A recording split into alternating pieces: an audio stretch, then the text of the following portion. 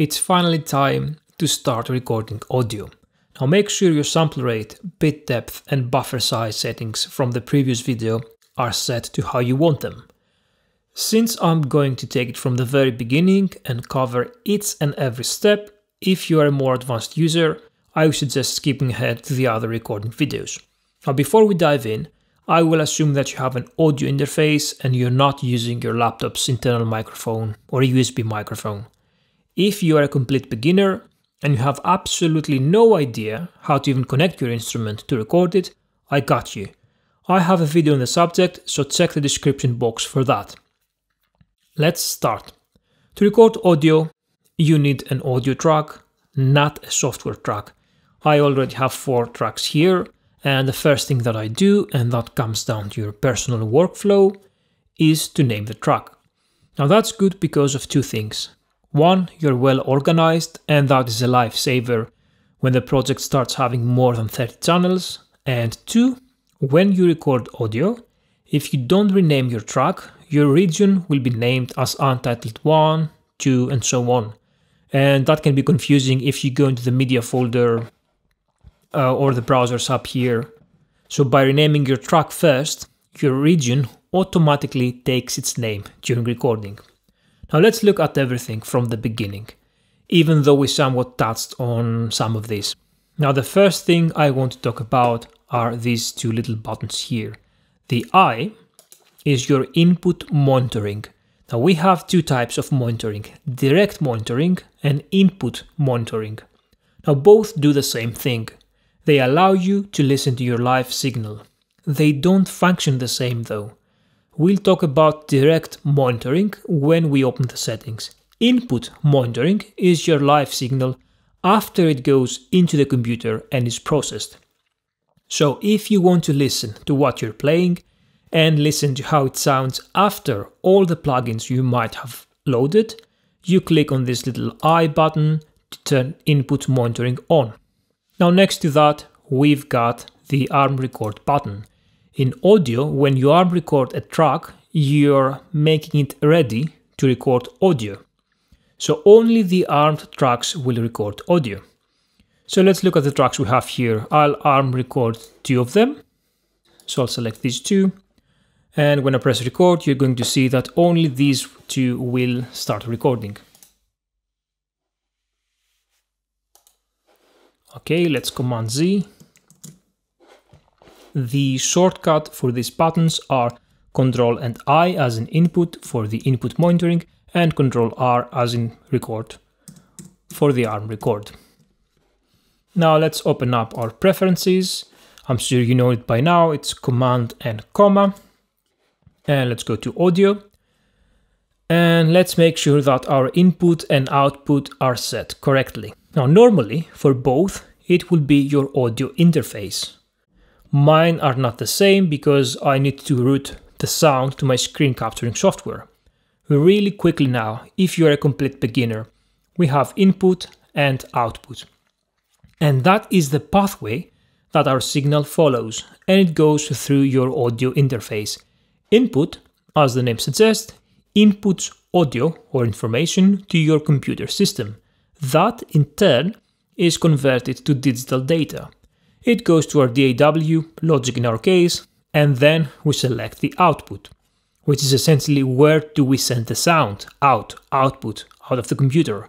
So if I click on it, you can see that I have the options of using my computer speakers or my screen speakers, create an aggregate device to split my signal, more on that on another video, or use my audio interface where I can either connect my headphones or monitors. Now, if you have headphones, you can also uh, select your computer speakers and only set the input at your audio, in audio interface.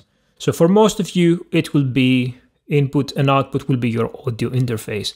Now let's put the buffer size down to 128 for now and let's click apply. Now next to that, we've got the general tab. Before we look at our options here, now we can talk about direct monitoring. Now what I want you to do is to have a look at your audio interface and see if you have an option for direct monitoring. Now what that does is to take the input signal and send it directly to the headphones and the output. And that allows for almost zero latency. Now bear in mind, when you use that, you need to mute the audio track you are recording to. So what you'll hear is the other tracks, uh, the metronome, and the direct monitoring input signal. So the difference with input monitoring is direct monitoring sends the signal straight to your headphones and output. Input monitoring gets the signal after it has gone into the computer and has been processed. And now you know why one of them has latency and the other doesn't. For me, it's always preferable to have direct monitoring on to take advantage of the almost zero latency, unless you want to use some effects while monitoring the input signal. And here's where our first option, uh, software monitoring comes in. So if I have an instrument and I want to load an amp simulator, if this is off, I will not be able to listen to it in real time. I will have to record first and then preview it. If I turn software monitoring on though, then I can preview it in real time. Now by default, I think Logic has software monitoring off. So if you're trying to load a plugin and you can't hear it during recording, make sure to turn this one on. Now, if you need to turn it on and off quite often during a project, uh, doing, doing it through the menu is time consuming. Instead, you can add the button for it on the control bar. So just right click here, uh, customize control bar, and it's this one here. It's this little green button here. Now, underneath that, we have input monitoring only for the focus track. Now, I prefer to leave this one on and here's what this does. Now let's look at our tracks here. And let's turn input monitoring for these two. Remember you're in Logic, so if you want to turn input monitoring, you just have to click and drag. So these two, I have my synth uh, connected to them. Now if I play a note, my signal will be monitored for all the tracks that input monitoring is enabled. So both of these. I'm going to take it off. Now uh, when I select this option though, only the selected track, the one that has the focus on, will have the input monitoring enabled. So again, this let's open enable input monitoring for these three. So the one I select, the one that has the focus, will automatically have the input monitoring on as well. Okay, and underneath that, we have the independent monitoring level for record enabled channel strips. Now what this option does is to give us two monitoring levels, one for playback and one for record enable. So if I record enable this track and I change the, let me turn it on first, and I change the fader, I'm going to take it down a bit. Now you'll see when I turn uh, ARM record on and off, I will get two, two monitoring levels.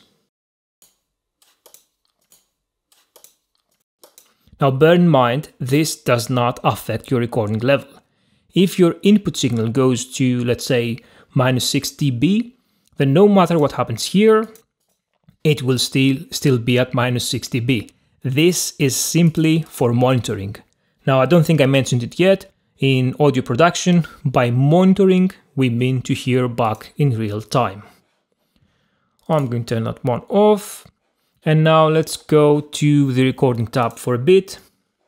Now up here, we can select the audio file type.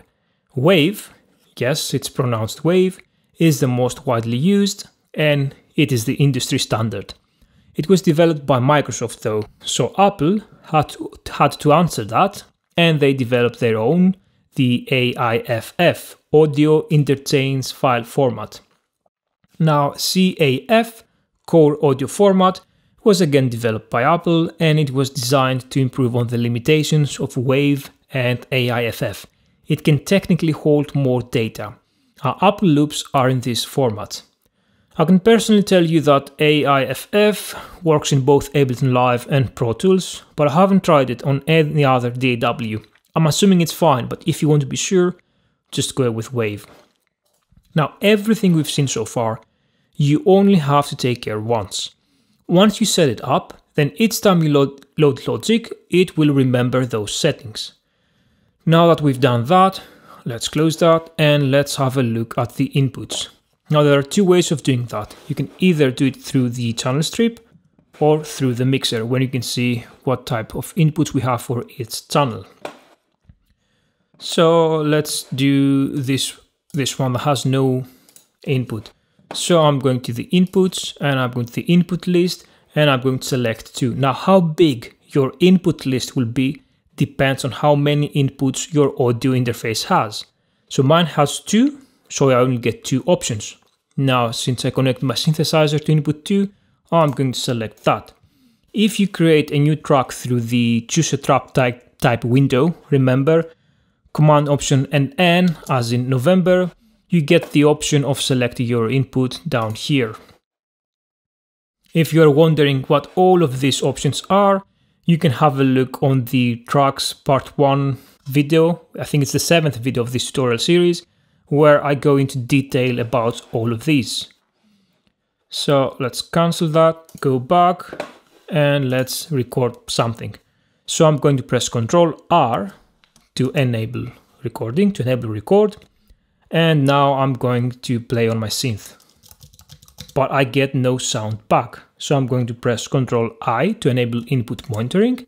And now I have monitoring. Now, extremely important information. I'm going to take this one off for now because it has a bit of sound. If you keep anything from this video, let it be this. Do not record as hot as you can. Now, most people, especially beginners, myself included, when I first want to record, try to get as close to zero as they can. They think that if they don't, their recording won't be loud enough. Do not worry about loudness. Loudness comes at the mastering stage. Now, during recording, you need a healthy signal that is above the noise floor, which we have already discussed in the sample rate and bit depth video. And once you have a healthy signal and a lot of headroom, then you can raise it and make it as loud as you want, but after you have recorded it. So now if I play something, let's turn this back on. You can see that my signal is way too hot. It goes quite close to unity. We are at minus 1.1. So I'll turn it down on my audio interface and then check the levels here. Remember, it won't do anything if you just turn this one down. This is simply for monitoring. You have to do it in your audio interface. So I'm going to play and monitor here. Reset it.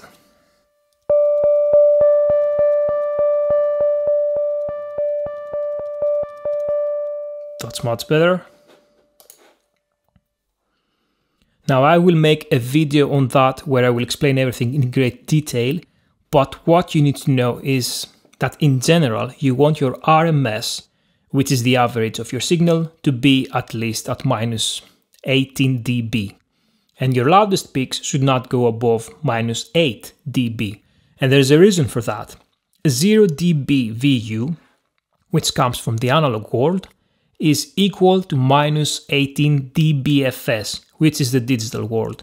So the 0 dB uh, VU on the consoles, which was fine to be around that, translates to minus 18 dBFS in the digital world, which is what we are using right now. Now personally, I go even lower. I keep my RMS, my average, at minus 24 dB, with my loudest peaks going all the way up to minus 12 dB. So if you want to see how that works, check my recording tutorials. Every single instrument on these videos was recorded with that principle. Now before we record, I want to show you a few more options that may help you. Now if you remember, the record button has a menu when we right click on it. So let's go to recording settings. Now, instead of counting in bars, you can choose record pre-roll to have a counting in seconds. I don't want that, it's a bit confusing. The allow tempo change uh, recording is used if you want to record a tempo change while recording. So you can, for example, connect a MIDI controller and make changes while it's playing back. Automatically colorized takes will be looked at uh, in the next video.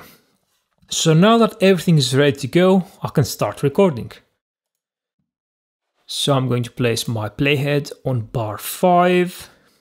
I've got, that's one bar, that's fine. I can either press record up here or I can use the shortcut and press R as in Romeo. I'm going to turn the click on as well. And that's it, let's try it.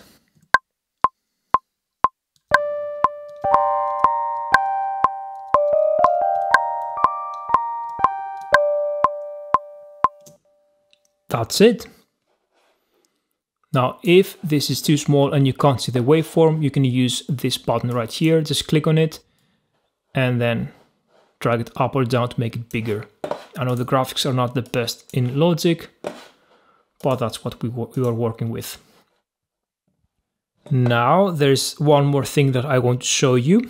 You can click up here as well, or simply just press F as in Foxtrot to open the browsers. Now here we have every single file, audio file that is in our project. If it's too small, you can always just go here, come on, and extend it. Okay, now as you can see, there's a gray area right here. So that means that there's more of my recording. And that is because I have used the counting. So when you press the counting, recording starts from when you press play not from where you set your playhead to record. So if I grab this one and extend it, you can see that I have more of my recording here. And the way to extend that is to go to the bottom left corner or bottom right. And lastly, anything that I have here, I can just simply click and drag. This usually works. ah, there you are. And just drag it to any of the channels that I want and now there, that would be another one. And that that's it for the basic recording. I'll see you in the next one.